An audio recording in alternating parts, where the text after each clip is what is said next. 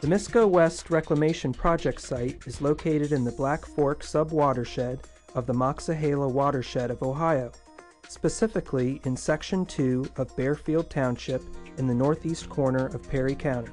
It contains approximately 30 acres of coal refuse from the Middle Kittanning Number 6 coal seam that was placed as valley fill from the Misco underground mine, operated by Jones Coal in the 1940s and 50s. The depth of the refuse on the site measures up to 60 feet.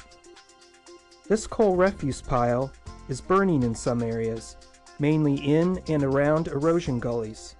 30% of the refuse pile's surface area shows signs of present and past burning.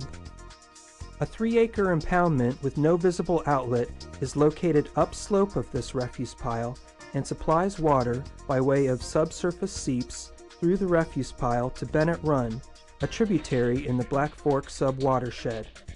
This subsurface seepage contributes to the production of acid mine drainage, which has a pH of 3.0 as it enters Bennett Run. It has been estimated that the AMD flow from this site contributes 23 to 25% of the iron loading, 23 to 33% of the acidity loading, and 13 to 18% of the sulfate loading to Black Fork. Because the site only contributes 5 to 8% of the total flow volume of Black Fork, high chemical loadings made this site a high priority for abatement and reclamation.